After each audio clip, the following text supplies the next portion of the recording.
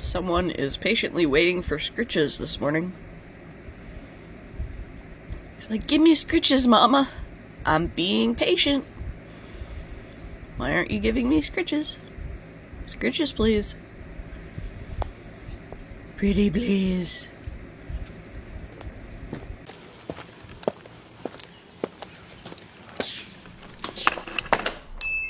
Hello, and welcome to the Rummaging Ferret.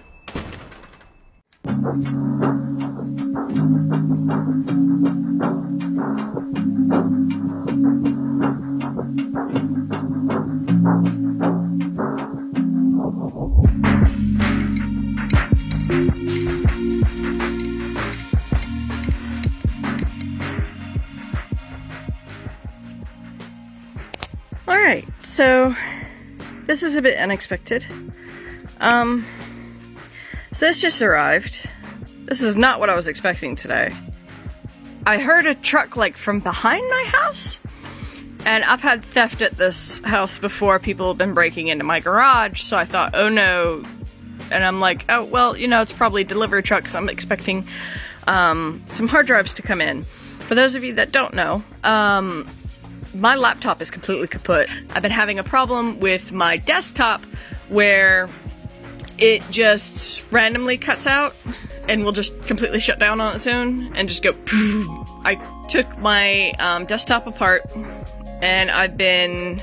Uh, I cleaned all of it and got all the dust out of it.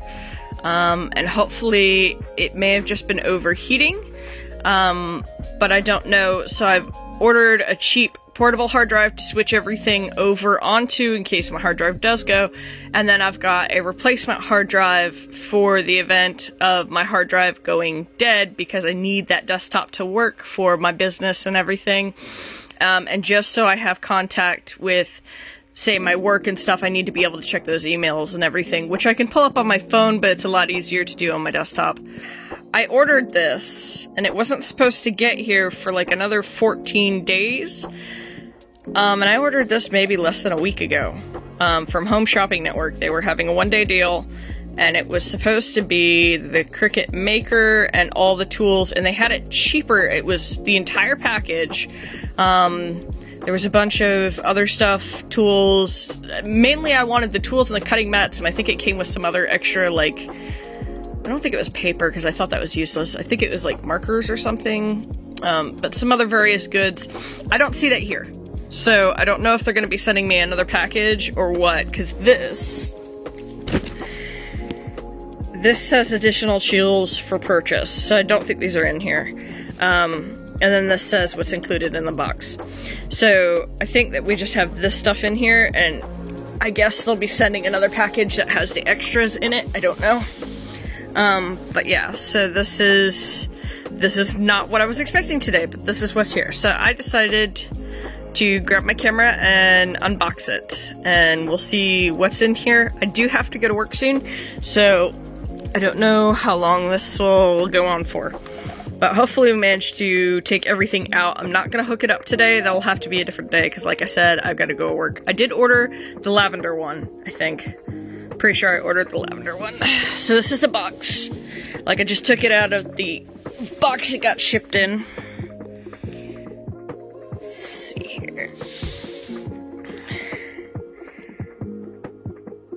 This is kind of what it looks like. This thing is heavy. Like super, super heavy. Ugh. Which is good. Because if I ever go back to architecture, I wanted this to be able to cut some of the um, modeling wood and stuff that we use for architecture. So, like basswood and chipboard and all that. So, that's why I got the Maker instead of just the Cricut Air Explorer or whatever.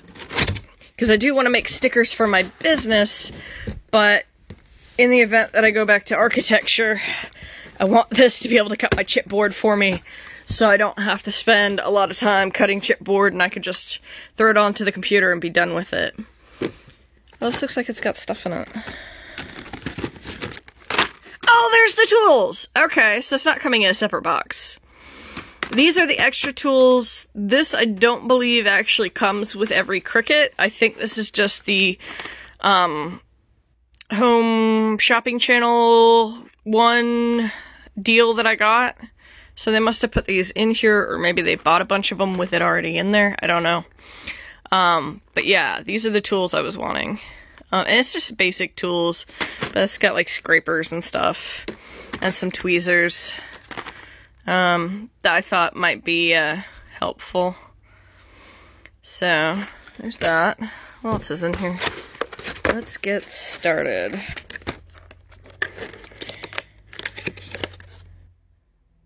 How do I? Oh, okay. It's like looking through the viewfinder is a little hard to see how to open things. Materials for your first project. Okay, so this is like an envelope. Open me first. Here's the little cutting tool. It's like a rotary blade, I think. I don't know if you can see that. Ah, that's better. Okay. Open me first. It's a welcome book. And it looks to be some stuff under this because you can see the paper sticking out of the hole. Yeah, cords and stuff in there too. So, okay. So let's look at that a little later. We'll just set that off to the side for right now. Let's see. Okay, well, there's markers, which I don't really care about, but like I said, I got this from Home Shopping Network for cheaper than a regular maker costs. Um, and it came with the main thing I wanted was all the mats that came with it. Oh, look at that. There's more markers. I don't care about the markers so much. Um, although they might be good for the business if I need to like scrawl or something. I don't know. The main thing I wanted was the cutting tools and the mats. And this came, I think, with every mat. Yeah, I think these mats are extra. So you got a standard grip mat. And then you got a light grip mat. And then you got a strong, another strong grip mat. I think one of these is like for fabric, if I remember right. Maybe I'm wrong. But there's two strong grip. No, there's a standard, a light, and a strong. Oh wow, it comes with four. Okay. No, five. Five mats. Okay. So this comes with five mats. I'm going to assume that based on the packaging of these, because there's just like an acetate over it, that these are what usually comes with a Cricut Maker. These were the extra ones, I think. So this is another light grip mat. So I've got two light grip mats. Um, a strong grip mat and a fabric grip mat. Okay. So I've got I got standard, two lights, a strong, and a fabric. So that's all these. And this is, this and the tools were kind of the main thing that I wanted.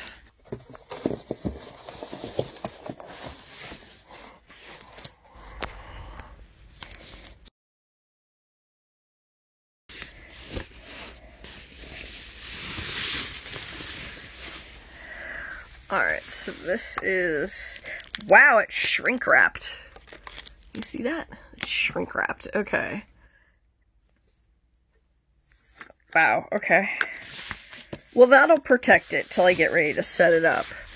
Um, but it's got like a little cup, and then here's like a tray that pops out, and then this I think lifts up, if I remember right. Um, there's the plug-in ports guess that's it. Oh, there's a USB on the corner here. That's kind of nice. That's got a little USB, unless that goes to something. Alright, so I'm just gonna wrap this back up for right now. Um, and I might come back later and figure out. There's more cords. Okay, there's another cord in there. I think. Make sure to nothing else slipped out. Nope. Okay, that's it. Alright, so when I go to set this up, I'll pull this out. Um, but that, I think, is the power cord for this. So I'm gonna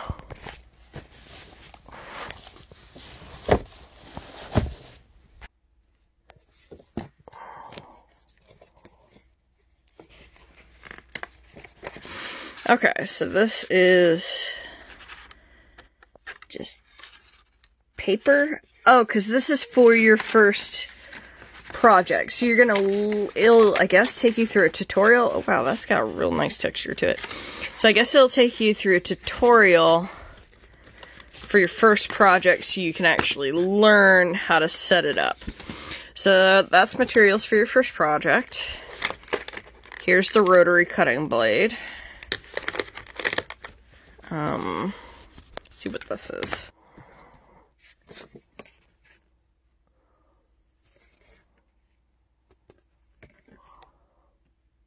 Oh, okay. Alright.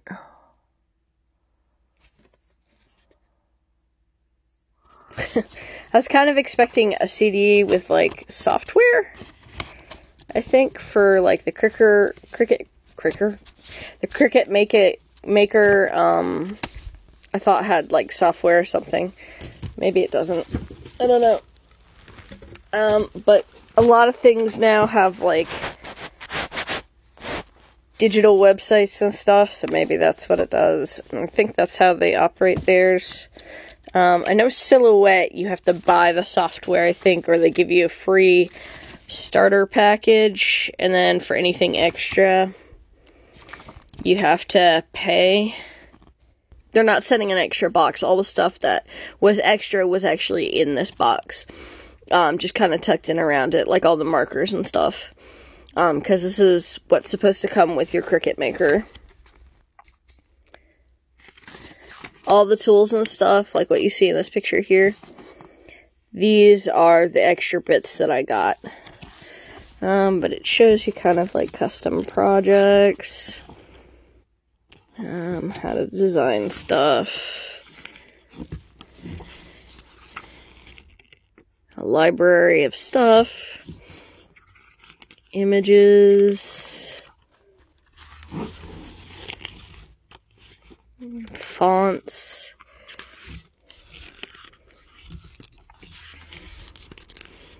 printable stuff.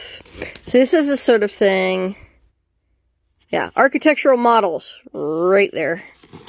That's that's the reason I got the maker over.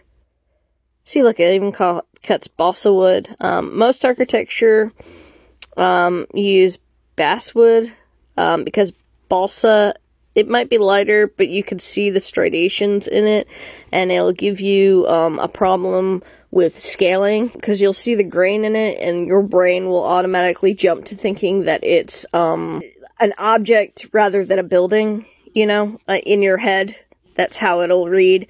So typically we don't use balsa wood for architecture models. We use basswood, but, um, and chipboard.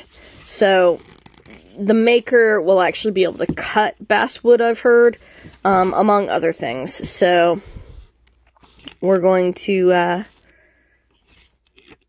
test that someday.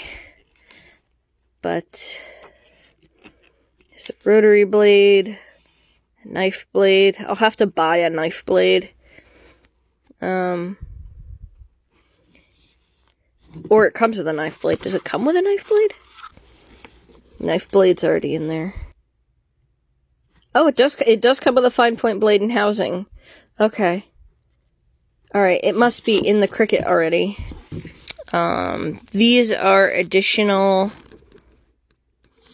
additional tools that I have, except for the big one. I don't have the big scraper, I just have the little scraper.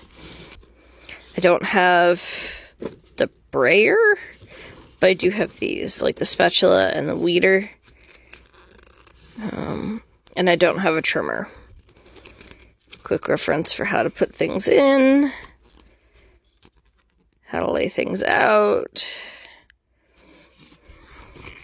Alright, so that's that. Now what is in here? Oh, okay. Okay, so this is for housing this little guy. Although, I mean, this little packaging's pretty, pretty good. Um, there's a fine tip pen. Uh, 0.4 black pen. And these are to hook it up to my computer. Okay, and this is just the warranty and stuff. Okay.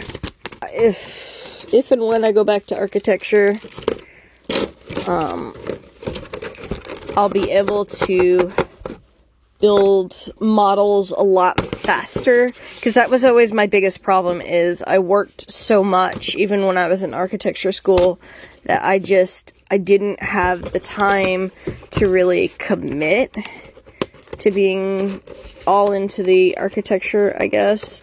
I mean, I was, I was doing well, and it just kind of depends on your time management skills, and I was doing pretty good. Um, but I don't know if you get sick or something, it really puts you out of problem. Like if you have any kind of any kind of health condition at all, or if you have kids, or if you have a job, architecture is almost impossible. Um, if you, especially if you have really bad um, medical conditions, uh, heart problems, if you have to get guaranteed sleep every night, if you have to um, take care of a child, uh, if you have to cook nightly, that's you know for you or somebody else. This is really like architecture is not a good fit for you. Um, at least for the school that I went to, maybe some other schools are better. Um, and a little bit less problematic, but my school's, the school I went to never gave you enough time to do everything. Um, some professors were a lot better than others. There were several professors I absolutely excelled with, um, and that's also because I have time management skills. You know, I have to with work and everything. Didn't a lot of students when you're in architecture school will use their time to gossip and chat, but most of them don't have jobs.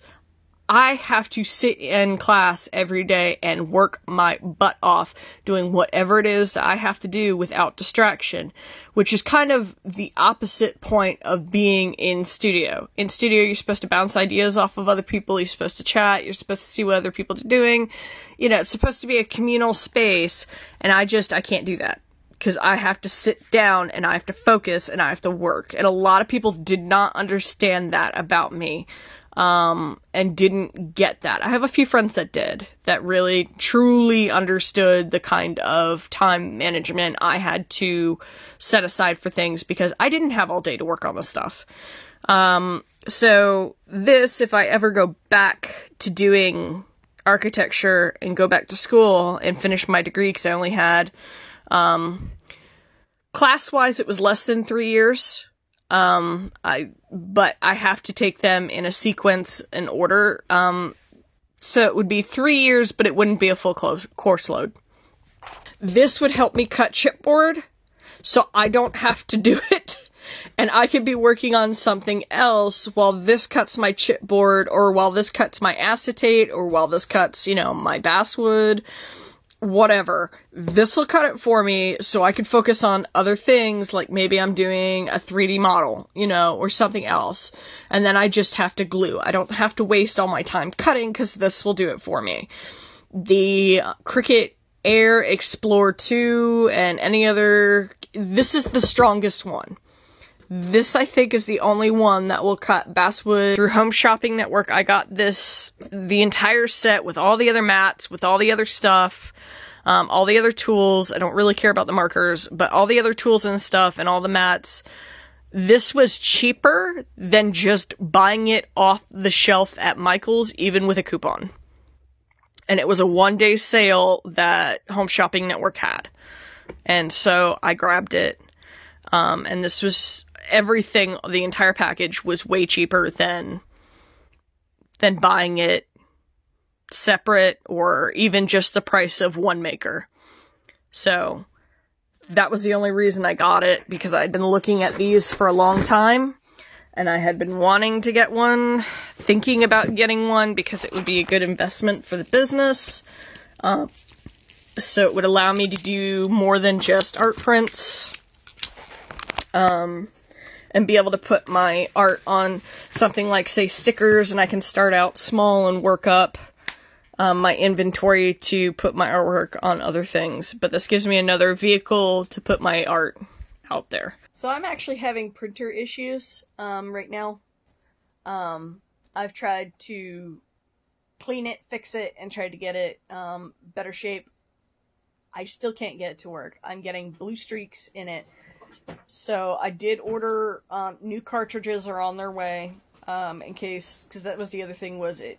I changed my cartridges. It shouldn't be the toner or anything. It should be fine.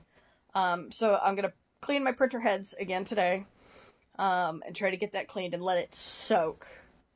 Because I think last time I only did it for an hour, and then I did it again for a little bit of time um, to try to break up anything that was in there. But like my my nozzle check is fine. I test printed um, sheets. I tried realigning it. I think everything you could possibly do to it. So I'm gonna I'm gonna use um, the kit that I got to clean the nozzle heads again.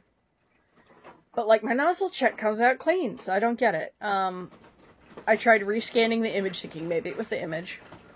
Um, some of my other stuff will print just fine, other stuff won't. Um, it seems like the more saturated colors it's got issues with. It started with one of my images. The painting that I finished, I actually posted up on Instagram, was done. But yeah, I can't put it on Etsy because I can't print my stuff right now, so it's coming out all streaky. So I'm kind of worried that somebody's gonna order a print and I'm not gonna be able to print it. So I'm hoping I don't get any printer orders for now until I can get that fixed. So I don't know what I'm gonna do if because I don't have enough money to buy another printer.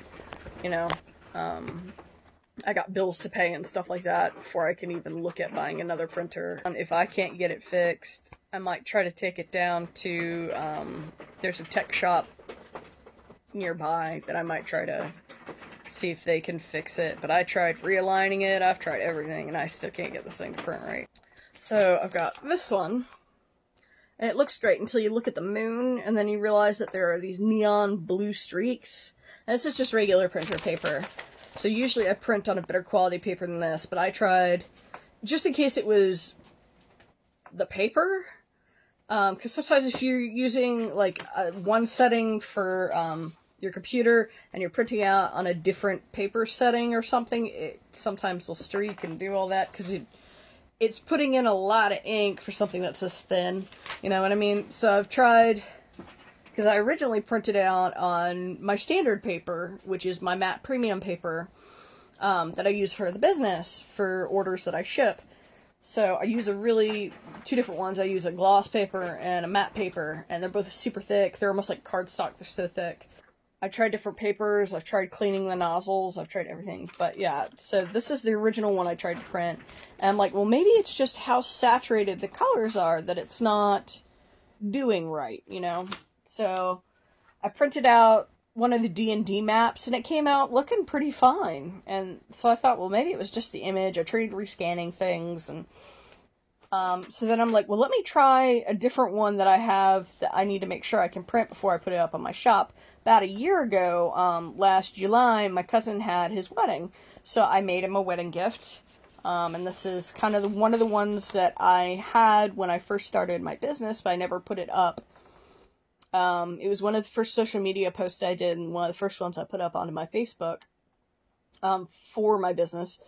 Um, but it's just got, if you look, you can see like every inch is those neon blue lines. So I'm like, well, this sucks. like, I can't, I can't sell this quality. This needs to be, you know, I need, and it was printing so nice before. Like, you could not tell it was a print and not the actual painting. So I'm trying to fix it. So I'm gonna try to clean out the nozzles again. Anyways, I'm gonna go start work on stuff and eat because I got home from work and I opened up the package and I haven't eaten yet. So see you soon. Let me see if I can find my ferrets. My ferret's up there. Caracol! He might come. Hang on. Caracol! Where are you, bud? I hear you. Oh, he's down there. You see him? Where's my finger? Where's my finger? It's down here. Hey, buddy. Kirko. Show your little face. Show your little face in there. Say hi, hi. Yeah. Yeah. Shoving a camera on your face. Yeah. Love you. Alright. I'll talk to you guys later. Hopefully I'll get the printer fixed. I'm really backlit. There we go. So I'll try to fix things and I'll get back to you guys later. Bye.